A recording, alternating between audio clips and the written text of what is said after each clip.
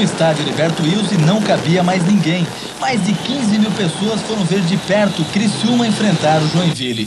Mas o time que precisava da vitória foi surpreendido ainda no primeiro tempo.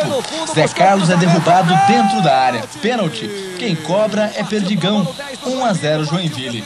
O Criciúma volta no segundo tempo decidido a virar o jogo, mas parou nas belas defesas do goleiro Marcão. Mesmo assim, o Tigre não perdeu as esperanças, mas olha o goleiro Marcão aí de novo. Se o Criciúma não faz, Marlon aproveita para fechar o placar. 2 a 0 Joinville. Bicampeão catarinense. Uma festa que os jogadores dividiram com a torcida ainda na casa do adversário.